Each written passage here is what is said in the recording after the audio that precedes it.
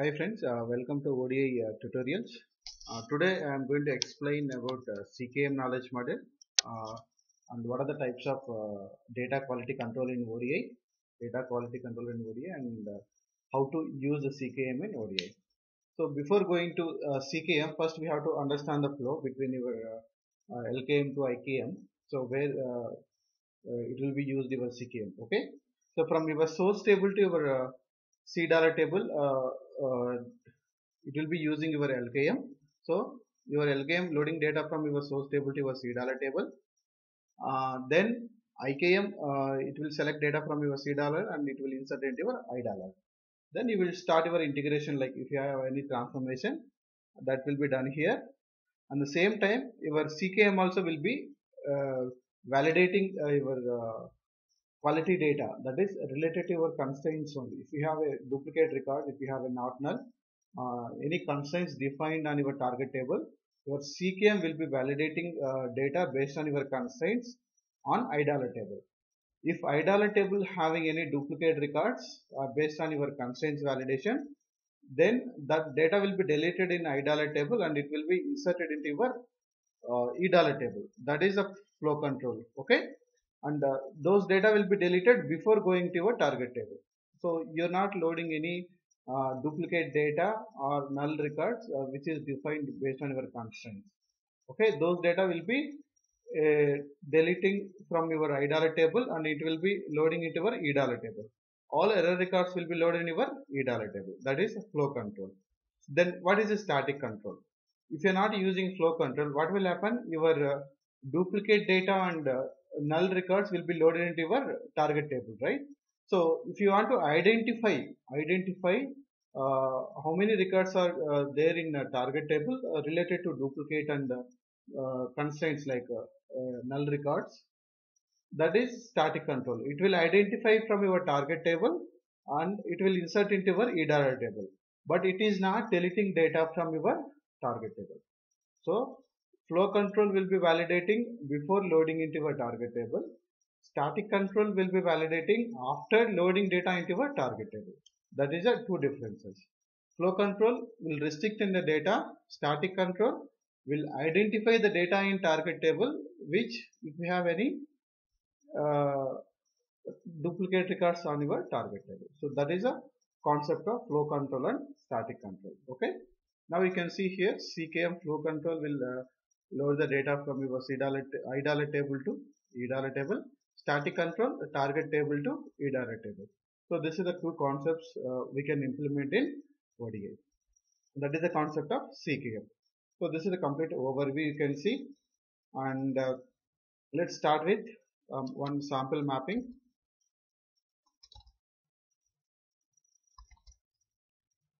So go to your uh,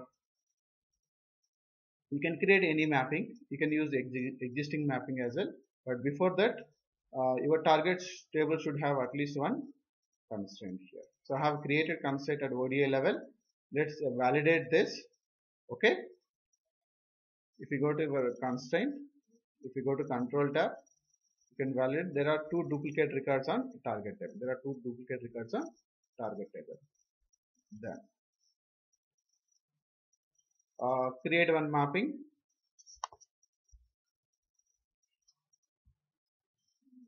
CKM it is uh, static control first I am creating an example for first static control. So drag and drop your uh, source table here. Then uh, drag and drop your target table here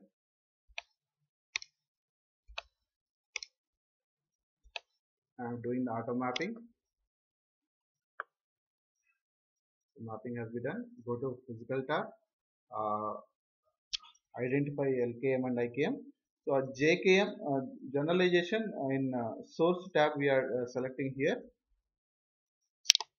That is journalized data only. But uh, LKM we are selecting on there is a target group. You can see here can minimize this general attributes there you can see LKM I'm going to use LKM SQL to SQL or you can use SQL to Oracle So if you are going for Oracle, you will get additional objects. These are the additional options you will getting. Then again go to target. Then you can choose uh, control append and uh, I'm disabling first flow control. I'm going to enable the static control.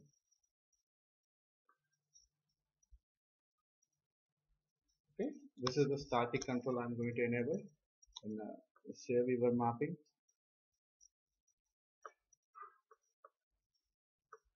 I'm going to run my mapping now.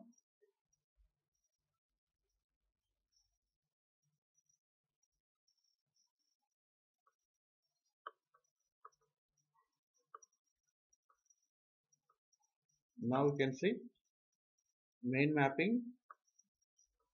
See, these all are related to CKM steps. You can see. so first my LKM will load data from uh, source table to C dollar table. Then start with uh, IKM. IKM first it will create I dollar table and it will load the data. See directly it is loaded into a target table because I'm not using any incremental update. That's why it is not created I dollar table. And also CKM also I'm using static control. Static control will be validating on your target table. So if you have any previous errors, uh, it will be deleting from your error table. Then insert primary key errors. Total uh, 31 duplicate records are available in target table that are inserted into your e dollar table. Now if we go to your e dollar table on target, refresh, this is your e dollar table. If you go to data, now you can see the primary key uh, EMP number is not unique. Those are related to duplicate records. If you give order number, with employee number order by, you can get this. Two two records you can see here. Okay. These are 31 records available in. So, but it is not deleted data in target table. You can see here, data is available in target table. Row count you can go for duplicate row count. This is duplicate. We go for all row count.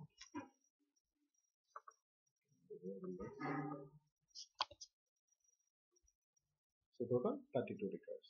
So one is uh, unique and the remaining are duplicates are available. Okay. So this is the way uh, we can identify.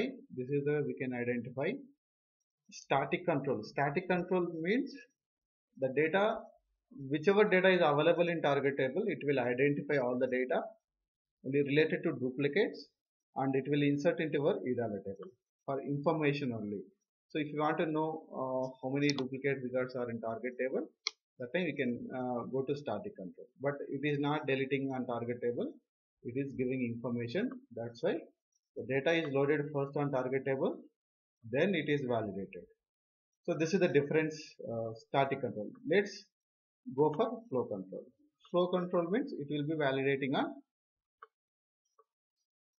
I dollar table, right? So let's uh, see the differences. So I'm going here. I'm going to enable flow control. Both I'm going to enable. This is my flow control. This is my static control. I have enabled to. Then I'm running again. Then I'm again running again. So we can enable both flow control and static control. There is no issues. Why? Because flow control will be validated on your I dollar table. Static control will be validated on target table. If still if you have any data on target table, it will be validating that. Now you can see here. This is your main mapping. Now you can see first I have loaded data from source table to C dollar table. Then this is my IKM. Then IKM is again uh, created I dollar table, inserted data into I dollar table. Then your uh, flow control is uh, validated data on I dollar table. If you found any duplicate record, based on EMP number. If we have more than one EMP number like uh, same number, more than one record, this is the logic. How to identify duplicate records? This is the logic. Having count uh, less than one, if uh, like same employee which is repeated values more than once, those will be inserted into your e dollar table. Then you can see there is a step called delete previous checksum as well as delete previous errors. And uh, this is uh, again uh, insert primary errors. This is static control. Okay? When you look at it here you can see insert new rows delete errors from control table. First I will insert data from my i dollar table to my i dollar table to e dollar table. This e dollar table. Then I will delete data from i dollar table. Whichever available in sorry. Here the register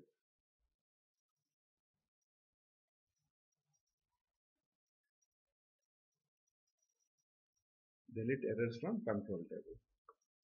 So this is the way we are deleting uh, all data which is available like which is error data uh, from available in uh, EMP that is E dollar table.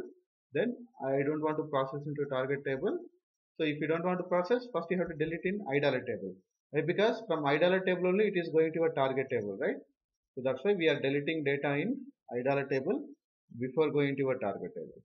So this is the first we delete data in uh, table then we will load data into target table this is okay. So now if we go to verify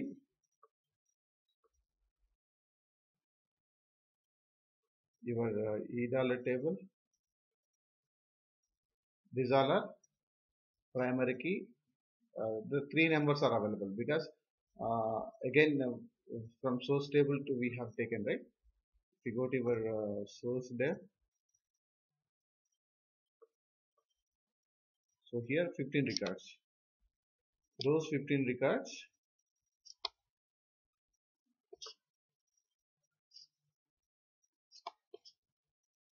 Here I think we don't find any duplicate. That's why it is not deleted. But those all are uh, static control data. Whatever we can see in uh, e dollar table those are static control data. Because uh, your uh, if you look at here insert primary key errors these are zero only.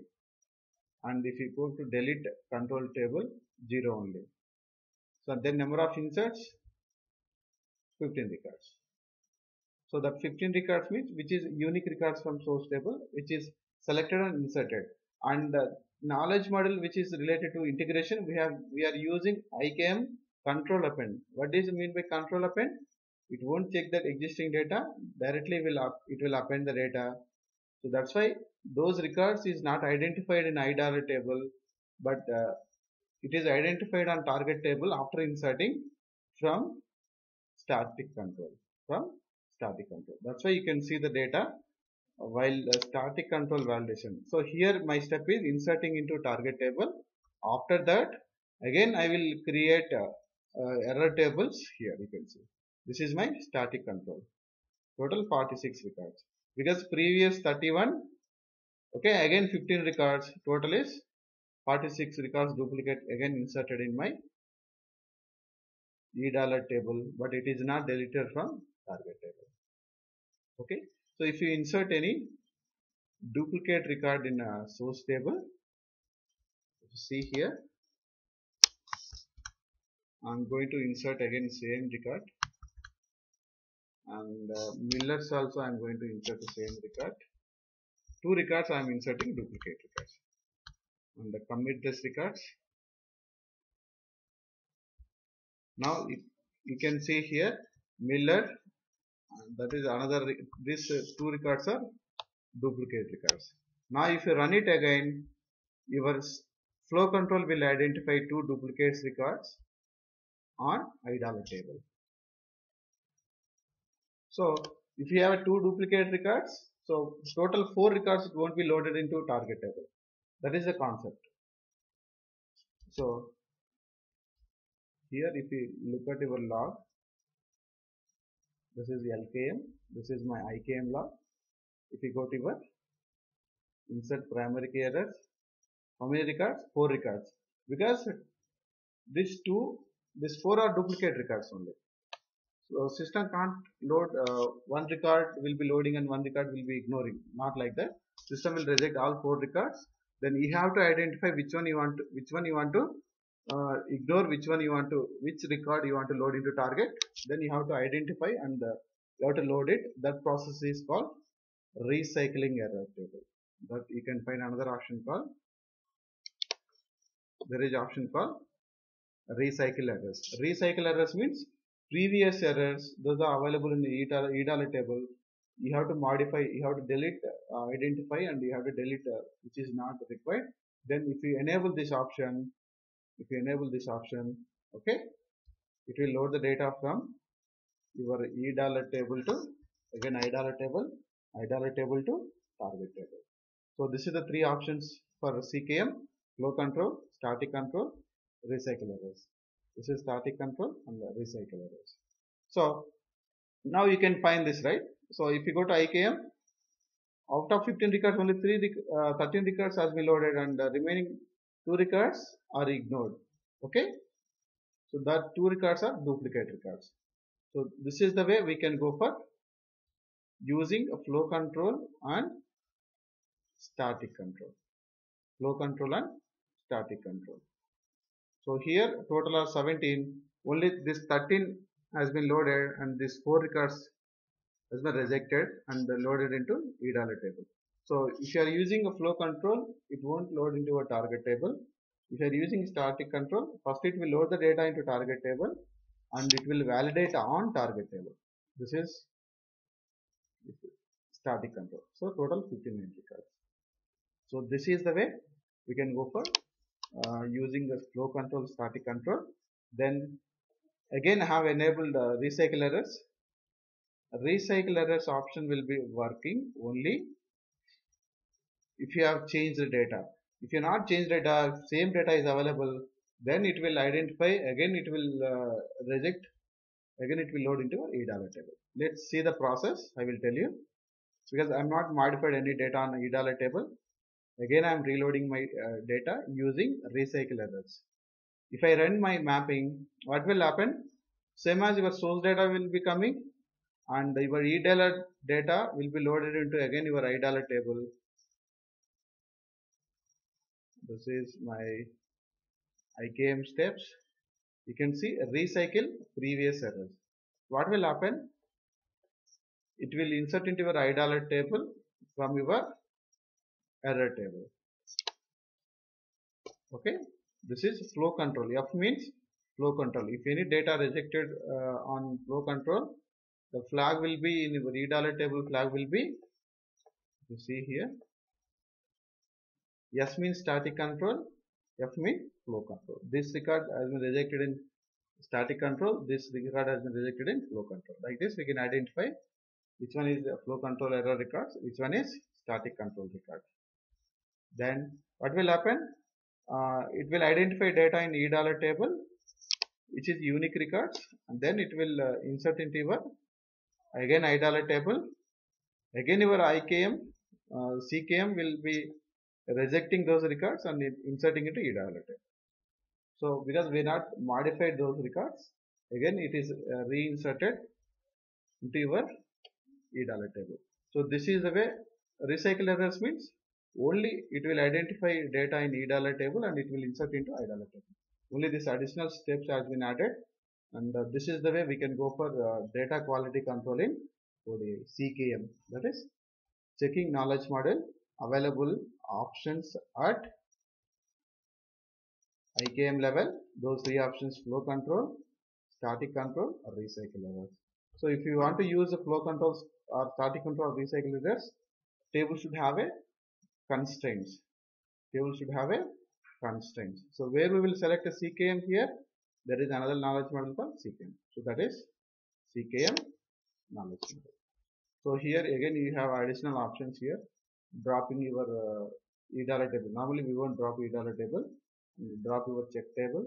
So check table and error index, there is an index uh, on error table because if you have huge data, you will get a better performance if you create an index on the table. These are true default, creating index on flow table and uh, error table. These are the options related to CKM. So you can use CKM uh, depending on your uh, database. Uh, if you are going for Oracle, you are using CKM Oracle. Same thing, if you are going for other databases, you can use that knowledge model. So this is the way we can implement and we can select the options at IKM level. Flow control, static control, recycle errors. So recycle errors, most of the people will have confusion. So recycle errors is simple. It is reprocessing the error records. Reprocessing from eDollar table to iDollar table, not direct target table. We are not processing from eDollar table to target table. First we will load the eDollar table to iDollar table because again we need to validate, right? Revalidate those records. It is valid or not. Still if it is invalid, again it will be deleted from iDollar and again it will be inserted into your eDollar. So this is the concept of data validation that is constraints based data validation. So if you want to use flow control or static control, again the table target table should have a keys because it will be identifying based on keys only. Uh, if you are using journalization, your source table should have a key. If you are using this uh, CDC, that is journalization, your source table should have a key. That is primary key. If you are using the CDC, again journalization. If you are using CKM, that is related to data quality. Your target table should have a constraint. So thank you for watching my video. Please subscribe to get more updates on ODI. Thank you.